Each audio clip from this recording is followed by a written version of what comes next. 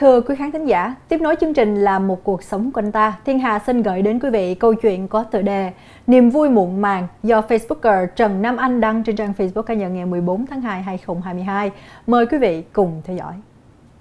Niềm vui muộn màng Chị nhìn xuống giỏ hồng còn năm bông Chị có nghề bán xôi nhưng những ngày lễ như hôm nay chị bán thêm hoa hồng, lời hơn.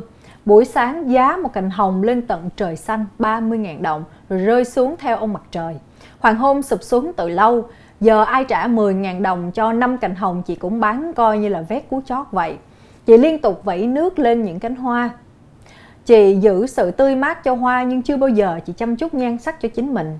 Kể từ lúc lấy chồng, chồng chị là một người đàn ông thô tục, sáng say, chiều xỉn, lại còn cờ bạc, lô đề. Sau khi ly hôn, chị dắt chiếu hai đứa con về ngoại và tần tảo buôn bán nuôi các con đang ở tuổi ăn, tuổi lớn. Nhìn những cô gái ngồi sau xe gắn máy hay đi bên người tình, mặt tươi như những đóa hoa họ cầm trên tay, lòng chị không khỏi dâng lên một niềm tuổi buồn sâu xa.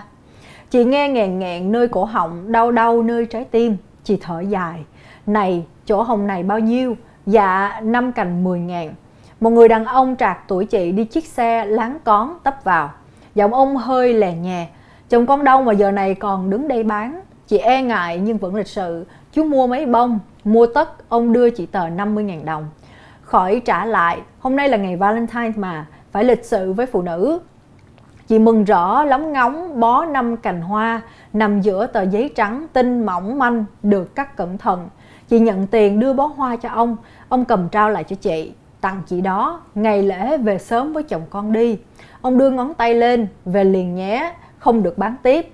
Chỗ hoa này tôi mua rồi, chị mà bán tiếp tôi đòi tiền lại đó. Thôi, chú mang về tặng vợ đi, chị bỗng ngại ngùng. Vợ tôi có từ sớm rồi nói xong, ông rồ ga đi thẳng. Cầm bó hoa về nhà, chị nâng niu như từ sáng giờ, chúng không phải là của chị vậy. Nhẹ nhàng, chị cho hoa vào bình đặt lên bàn thờ bố chị. Con gái chị hỏi, mẹ, hoa còn ế đó hả? Chị hãnh diện, không, mẹ được một người tặng.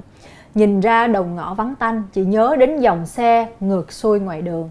Chị thật hạnh phúc.